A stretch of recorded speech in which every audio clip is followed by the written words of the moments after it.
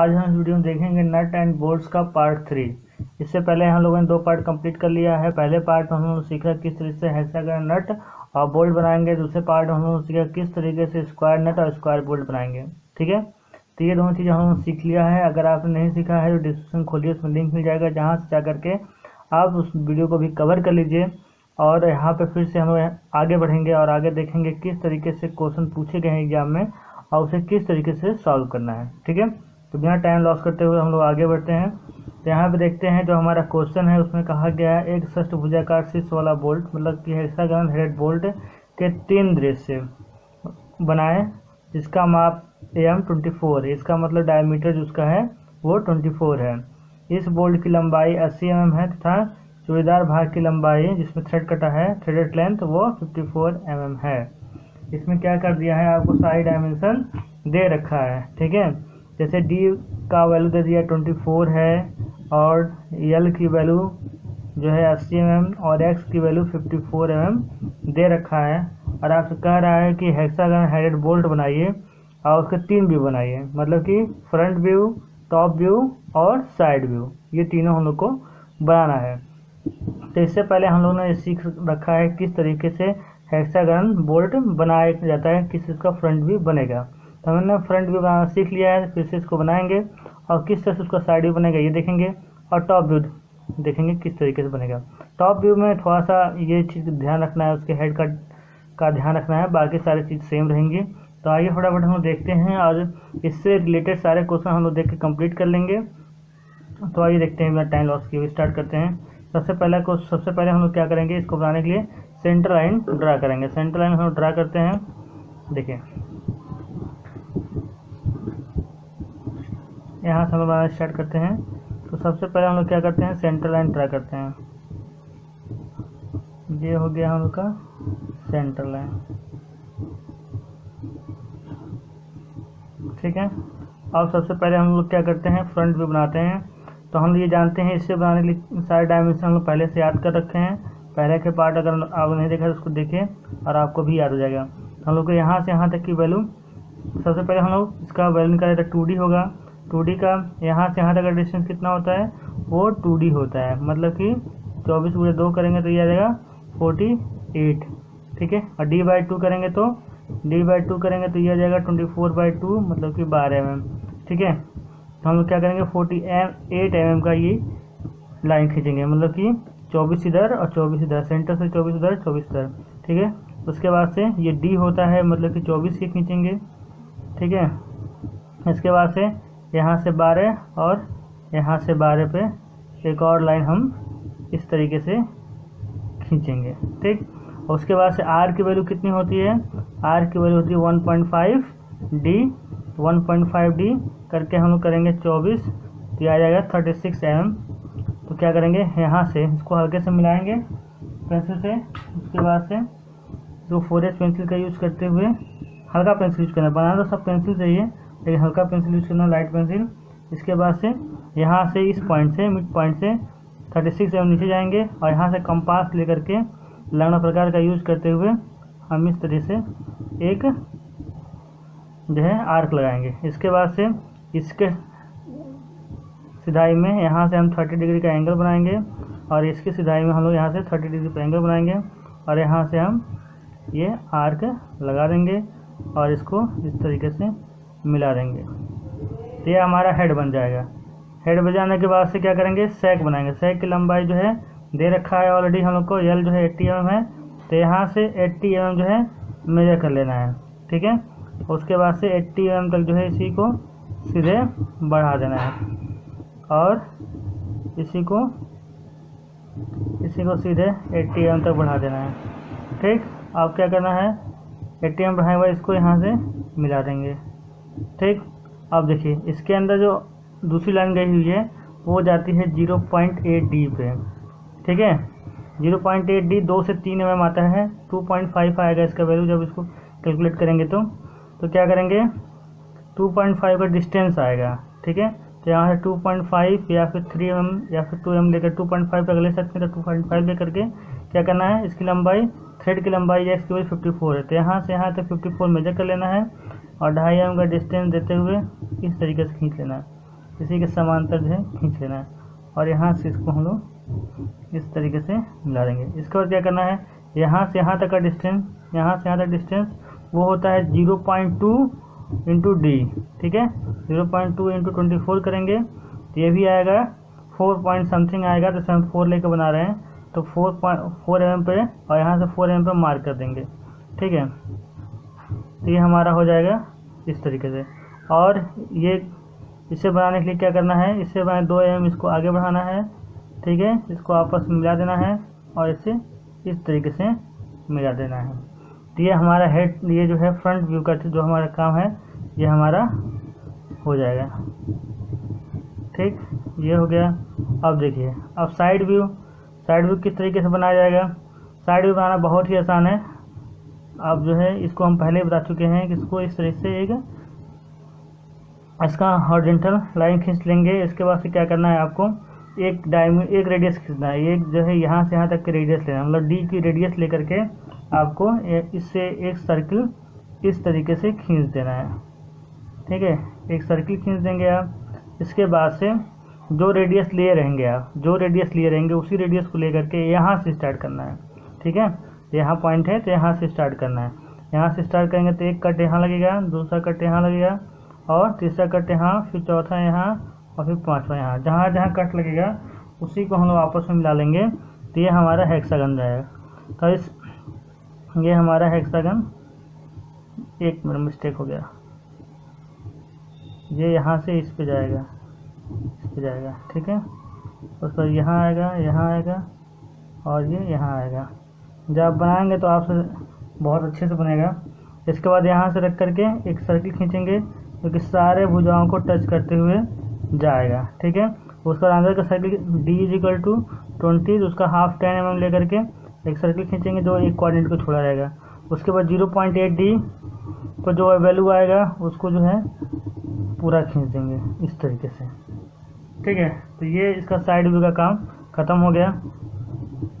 लेकिन ये ध्यान रखें जब साइड व्यू का काम कैसे ख़त्म हो गया? क्योंकि आप इस साइड से देख रहे हैं।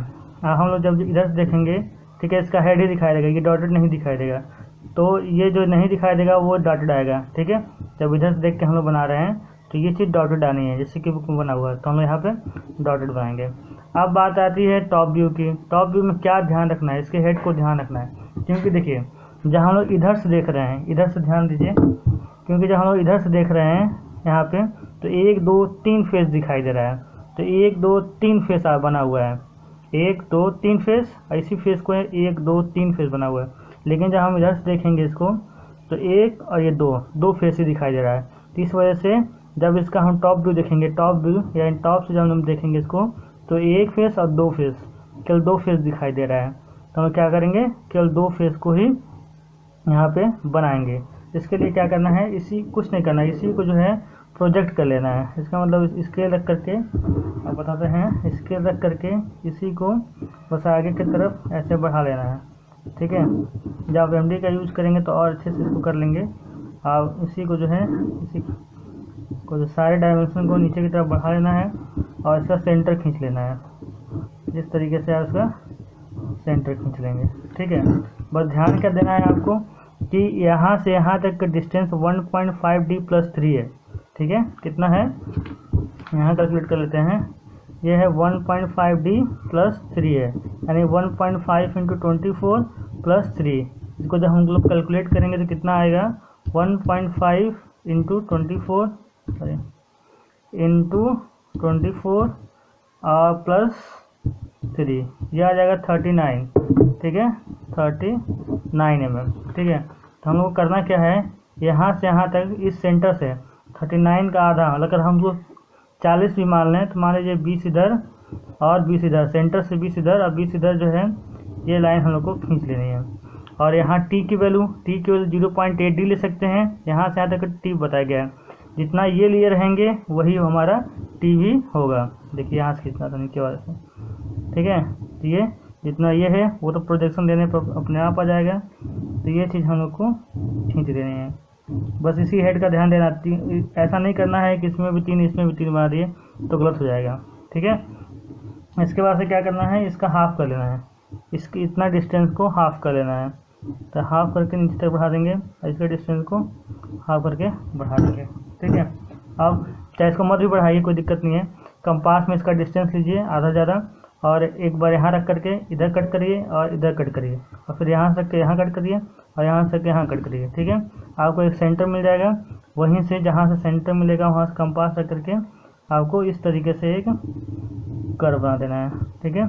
यहाँ से इस तरीके से कर्व बना देना है, ठीक है? तो ये आप इस तरीके से कर देंगे। और उसके बाद से जब ये बन जाएगा तो ये कुछ करने के सेम टू सेम इसमें जो है, उतना ही डिस्टेंस पे इसको कॉपी कर देना है। जैसे ऊपर बनाए हैं सेम टू सेम इसको ऐसे ही कॉपी कर देना इसमें कुछ भी अलग नहीं करना ठीक है? दो एम या फिर ढाई एम जो भी खींचे हुए हैं, इसको भी खींच लीजिए। इसको यहाँ से मिला लीजिए।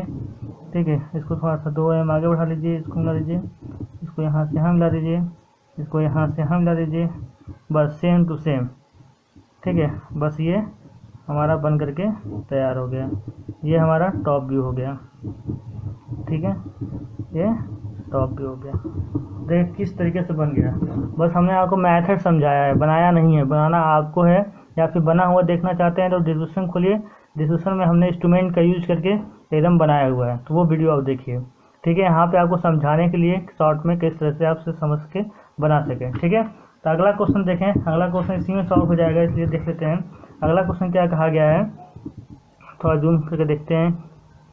देखिए। कहा गया है, षष्ठ भुजाकार नट तथा वासर सहित एक षष्ठ भुजाकार काबले के दो दृश्य बनाइए। मतलब कि नट और बोल्ट दोनों लगे हों और उसमें वासर भी लगा हो। ऐसा दो दृश्य बनाइए। दो दृश्य का मतलब कि आपको जो फ्रंट बनाना है, उसका साइड बनाना है, ठीक है? दो दृश्य बनाइए। काबले का व्यास 24 एम है और लंबाई 96 एम लीजिए। देखिए, व्यास और लंबाई बता दिया है। यहाँ 96 बोला है। ऊपर वाले क्वेश्चन में जो था, वो हम लोग का 80 था। ठीक है ना? तो कोई बात नहीं, हम लोग को समझना है तो हम समझ लेंगे। ठीक है?